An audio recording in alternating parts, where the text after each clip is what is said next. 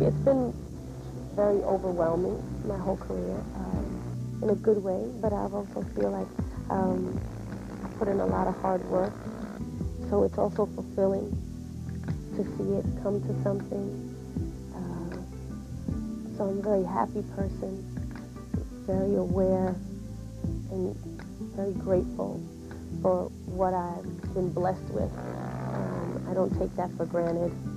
The whole thing is kind of crazy when you look out and, and you see yourself in different things and magazine covers and you remember that you were this little girl in the Bronx, you know, riding the train, trying to see if you could, um, if you were going to hop the train on the way there or on the way back because you only had one token. so, I mean, it's been good. This program is